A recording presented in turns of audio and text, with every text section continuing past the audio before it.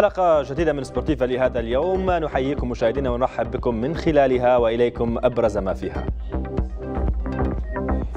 المدينة والخمس ينهيان المشاركة في النسخة الحالية من الدور الممتاز. في كأس ليبيا لكرة القدم داخل الصلاة الأخضر والأهلي بنغازي يلتقيان للمباراة النهائية. ليبيا تحقق أول ذهبية في افتتاح مشاركتها في ملتقى مراكش الدولي لألعاب القوى للأشخاص ذوي الإعاقة.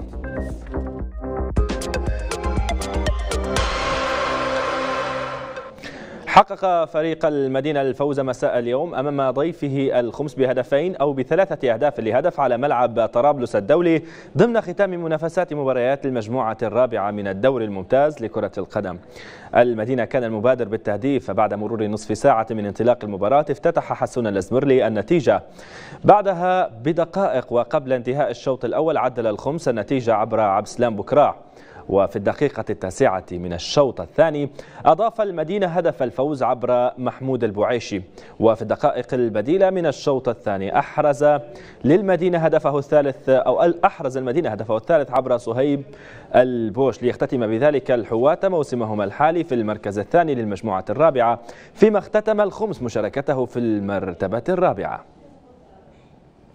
وفي منافسات المجموعة الرابعة حيث تعادل باللشر مع نظيره رفيق سلبيا في المباراة التي جرت بملعب مصراتة ليبقى رفيق في دائرة المنافسة على البقاء ويخوض منافسات تفادي الهبوط بينما غادر باللشر مصاف الدوري الممتاز لكرة القدم. من ناحية أخرى تعادل الوحدة مع جاره المحل بهدف لمثله ليرفع رصيده إلى النقطة السادسة عشرة في المركز الثالث فيما وصل المحل النقطة أو وصل المحل إلى النقطة العاشرة في المركز السادس ويبقى في منافسات الدوري الممتاز الموسم القادم. هذه كرة باهية كرة زاهية ولكن الكرة بعدها أحمد الزناد. يبحث عن كرة طويلة عن كرة رأسية خطيرة مرة مرة أولى. خطيرة لكن اصطدمت بدفاعات فريق رفيق. حكم الإيقاظ نبقى مشاهدينا في منافسات الكاس حيث يقام هذه الأثناء لقاء يجمع فريقي الأخضر والاتحاد على ملعب بنينا ضمن مباريات ربع نهائي المسابقة وتشير النتيجة حتى هذه اللحظة بتقدم فريق الاتحاد بهدفين لهدف وهذا أمامكم مشاهدينا هدف فريق الأخضر في هذه المباراة الجدير. عن طريق اللاعب ممادو جدير بالذكر مشاهدينا أن من سيتأهل من هذا اللقاء سيواجه المتأهل من مباراة الأهلي طرابلس مع المحلة في الدور القادم. لصالح فريق الأخضر. هذا هو المدرب جرازيتشو إعادة للقب. فاز فريق الأخضر على فريق السويحلي بثلاثة أهداف مقابل هدف واحد في نصف نهائي كأس ليبيا لكرة القدم داخل الصلاة في المباراة التي جرت بالقاعة الرياضية بالبيضة. وبهذا الفوز تأهل الأخضر للمباراة النهائية والتي سيقابل فيها فريق الأهلي بنغازي الذي فاز بدوره على فريق الاتحاد بركلة الترجيح بعد انتهاء الوقت الأصلي للمباراة بالتعادل بهدفين مقابل هدفين. وسيلعب اللقاء النهائي يوم السبت في تمام الساعة السادسة والنصف.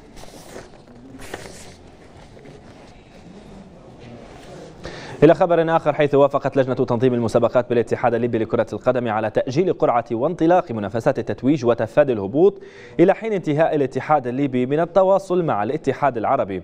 القرعة كان من المقرر سحبها يوم أمس غير أن الاتحاد الليبي تلقى رسالة رسمية من الاتحاد العربي مفادها اختيار وإضافة فريقي الاتحاد والأهلي بنغازي للمشاركة في تصفيات بطولة الأندية العربية التي ستنطلق في التاسع عشر من الشهر المقبل. وينتظر في حال أو في حالة مشاركة الفرق في تصفيات الأندية العربية أن يتم تأجيل منافسات الدور الرباعي إلى ما بعد شهر رمضان المبارك. طريقة اختيار الاتحاد العربي كانت من بطريقة منه هو يعني بمراسلة من بدون مراسلة من الاتحاد الليبي. أنا أقصد في الاختيار ولكن إحنا رأينا كاتحاد كورة لأن اتحاد كورة واجبنا ودور اتحاد الكورة هو تنظيم المسابقات والإشراف عليها لتطوير كرة القدم في ليبيا. لما تجي مشاركة مثل هذه نعتبروها فرصة للفريق اللي يشارك باش يطور من نفسه فهذا مكسب للكرة الليبية. لما تكون أنديتنا تشارك في بطولات خارجية سواء عربية أو أفريقية هذا نحن كاتحاد آه، كورة لا نمانع. إذا منعنا نحن نكون اشتركنا في عدم تطور الكرة في ليبيا. يتوجه المنتخب الوطني للشباب لكرة القدم اليوم للإسكندرية لخوض مباراتين وديتين مع نظيره المصري استعدادا لمباراته أمام منتخب بوركينا فاسو في تصفيات بطولة إفريقيا للشباب. المنتخب الذي يدربه عياد القاضي كان قد دخل في معسكر إعدادي تواصل لعشرة أيام في طرابلس لعب خلاله مباراتين وديتين أمام فريقي المحلة والشط. وسيلاقي منتخبنا منتخب بوركينا فاسو في ذهاب التصفيات خلال الأيام من الحادي عشر إلى الثالث عشر من مايو المقبل. فيما سيكون لقاء الإياب ببوركينا فاسو خلال الأيام من الثامن عشر إلى العشرين من الشهر نفسه. كلفت لجنة التحكيم بالاتحاد الإفريقي لكرة القدم الحكم الليبي السابق جمال بيا لمراقبة القمة الإفريقية بين الأهلي المصري والترجي التونسي التي ستقام على ملعب برج العرب بالإسكندرية في منافسات دور المجموعات من دوري أبطال أندية إفريقيا. وسيتوسط الفريقين طاقم تحكيم يقوده الحكم السنغالي مانغ ديديهيو. صحبة مواطنيه المساعدين جبريل كاميرا والحاج مالك مساعدا ثانيا فيما كلف عيسى سي بمهمة الحكم الرابع. يشار إلى أن المباراة ستقام في الرابع من الشهر المقبل في ملعب برج العرب.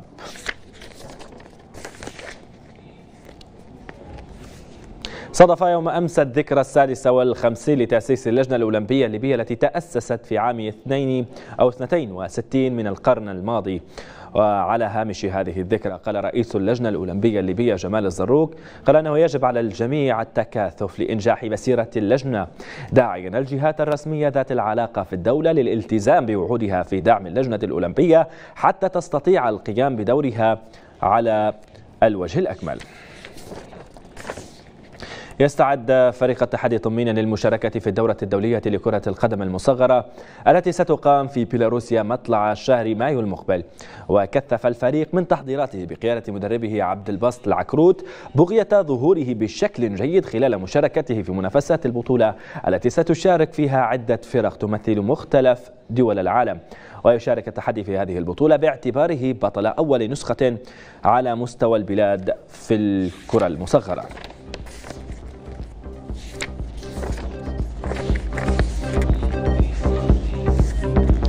سبورتيفا متواصل مشاهدينا وتتابعون فيه بعد حوار اليوم. بعد إقالته من تدريب المنتخب الياباني خليل زيتش يعبر عن خيبة أمله لعدم معرفته أسباب الإقالة.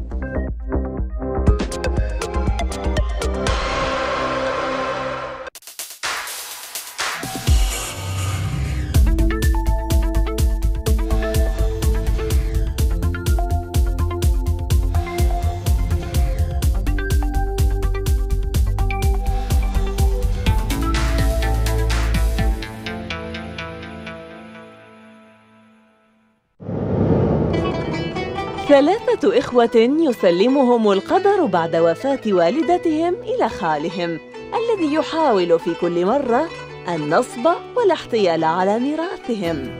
الفلوس تغير نفوس مسلسل درامي في قالب كوميدي.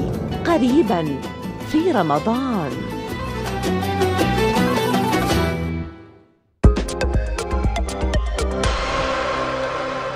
أهلا بكم مجددا مشاهدينا حيث واصل فريق الاهلي طرابلس سلسلة انتصاراته في مرحلة إياب نهائيات الدور الليبي لكرة السلة. بانتصاره على جاره المدينة ب 75 مقابل 65 في الجولة الرابعة بقاعه طرابلس من جهته وفي نفس القاعه حسم فريق النصر نتيجة كلاسيكو بنغازي بتفوقه على جاره الأهلي بنغازي. بينما يقابل بينما يقابل الاتحاد فريق الشباب العربي في آخر مواجهات الجولة. هذا وستكون مباراة الغد بين الأهلي طرابلس والنصر. المباراة الفاصلة التي سيتم من خلالها التعرف على من سيحقق لقب النسخة الحالية من الدوري.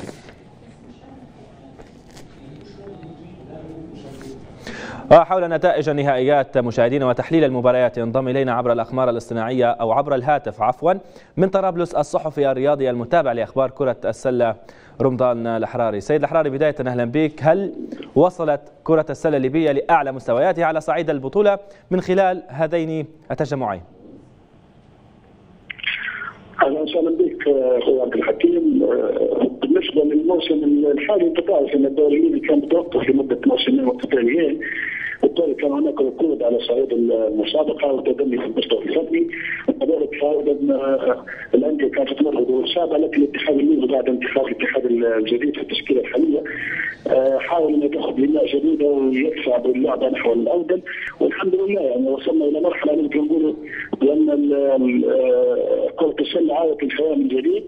والموسم القادم والمواسم القادمه سنشهد ربما ارتفاع في المستوى الفني، المستوى الفني في الواقع المباريات الحاليه والنهائيات الحالية نقدر نقول أنه متوسط نوعا ما. لا يوجد آه، يعني آه، مستوى عالي كما كنا نتوقع ولكن التفاؤل دائما يكون حاضر وموجود ونحن على الأقل مبتهجين بضخ الدماء في هذه اللعبه واحيائها من جديد وعودتها إلى هذا الشكل اللي نشوفه فيه الآن في هذا التنظيم للنهائيات طيب سيد الحراري يعني حتى الآن كيف تقيم أداء الفرق في هذه النهائيات وهل يعني تطورت عقلية اللاعب الليبي من خلال رتم المباريات العالي في في في بعضها يعني؟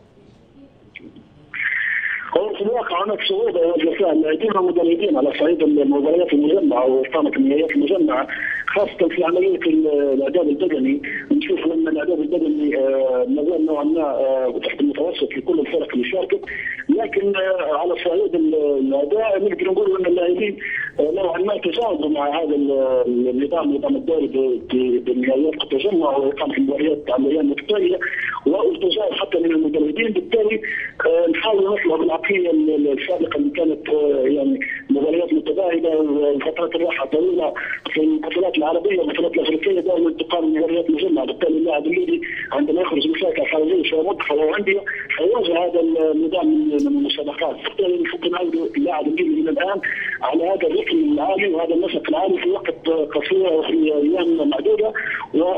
وباداء مجهود بدني عالي والحمد لله يعني نقدر نقول أن تجاوبت الأندية والفرق يعني كان في تجاوب والمستوى كان يعني في هذا الجانب يعني كان رضا كان من كل الفرق وكل المدربين.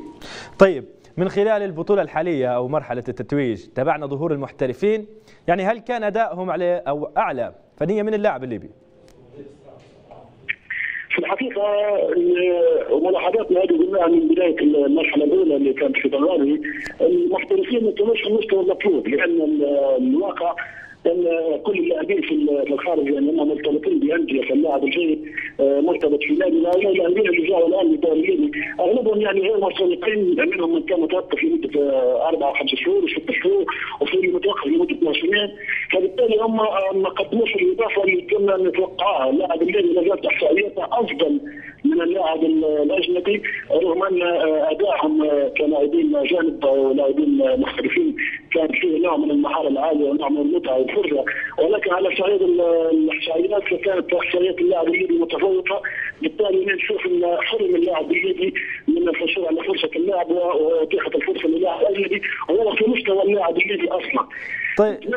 المواسم القادمة إذا كان الاتحاد العام جاز الاستعانه بلاعبين محترفين في الدوري أن يكون الانتدابات تكون على مستوى عالي حتى يرفع من مستوى اللاعب الليبي. موضوع مهم وبحديثك على الفرصة يعني الفرصة الآن بدت متاحة أمام آه، مسؤولي كرة السلة لاختيار عناصر المنتخب هل هذا الأمر آه، وارد حاليا أم لن يتحقق في الفترة المقبلة؟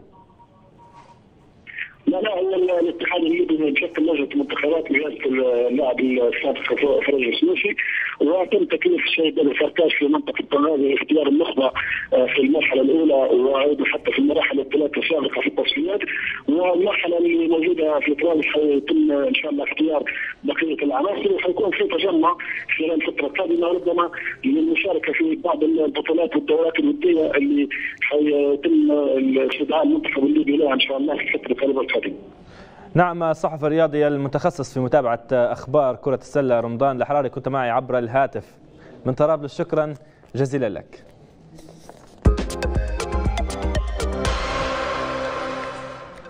عالميا الآن حيث تأهل فريق نيوكاسل جيتس لنهائي الدوري الأسترالي لكرة القدم بعد فوزه في نصف النهائي على ميلبورن سيتي بهدفين مقابل هدف واحد. ميلبورن حول فرصته الأولى في دقيقة الرابعة عشرة إلى هدف عن طريق برونو فرون أورولي وفي الشوط الثاني سجل ريلي ماكري هدف التعادل لنيوكاسل بطريقة استعراضية قبل أن يضيف جيسون هوفمان هدف الفوز لنيوكاسل في الدقيقة الخامسة والسبعين وسيلاقي الأخير في النهائي الفائز من مواجهة سيدني مع ميلبورن فيكتوري في المباراة التي تقام يوم غد. اكتسح كروزيرو ضيفه التشيلي يونيفرسيداد دي التشيلي بسبعة أهداف نظيفة ضمن منافسات كأس ليبرتادورس لكرة القدم. هيمن كروزيرو البرازيلي بالكامل على المباراة حيث تناوب على تسجيل السباعية تياغو نيفيز من ركلة جزاء ورافينيا وجورجيان دي أراسكايتا. وساسا سجل وحده ثلاثية في هذه المباراة قبل أن يختتم رافائيل سوبيس مهرجان الأهداف في الدقيقة الحادية والثمانين. يشار إلى أن الفريق التشيلي أكمل المباراة منقوصا من لاعبين بعد تعمدهما الخشونة.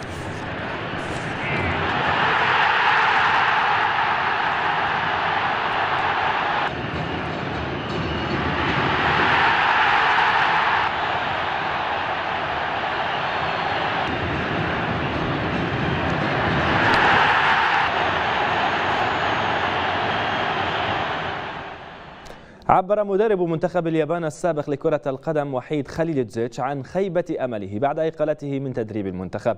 وقال المدرب أن سبب إقالته لم يكن صعوبة التواصل مع اللاعبين وأنه لا يفهم السبب الحقيقي للإقالة قبل شهرين من نهائيات كأس العالم في روسيا.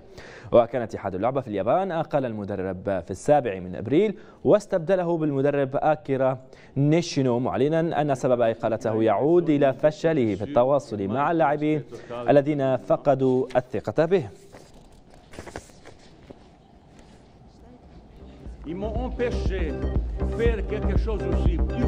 ختام سبورتيفا إلى اللقاء.